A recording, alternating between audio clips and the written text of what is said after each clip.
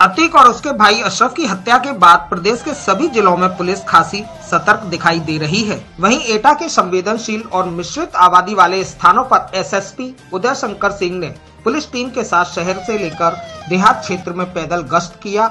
इस दौरान पुलिस ने संदिग्ध लोगों की गतिविधि पर नज़र बनाए रखने के साथ ही आने जाने वाले लोगों की चेकिंग भी की।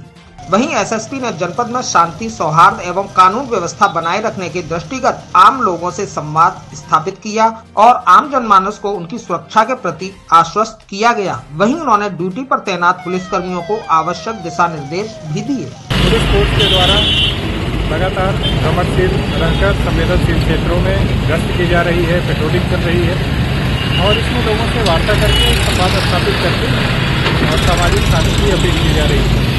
उसी के क्रम में ये सारा फोर्स यहाँ पर इस भीड़ भाड़ वाले मार्केट वाले क्षेत्र में भ्रमण है